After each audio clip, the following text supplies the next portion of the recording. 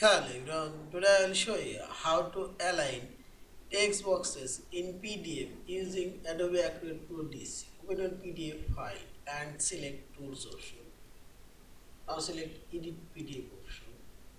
First you have to select multiple text box and select this one. Click here, this text box and press Ctrl key from your keyboard and select another text box. Select.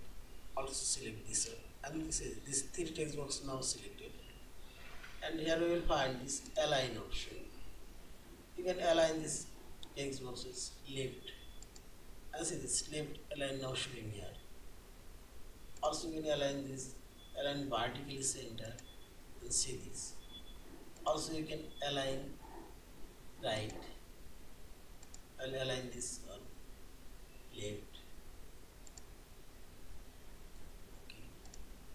also select this one and this I'll align this text boxes top align top.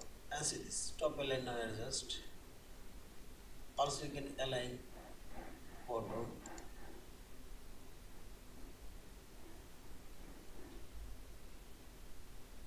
also you can align these two text boxes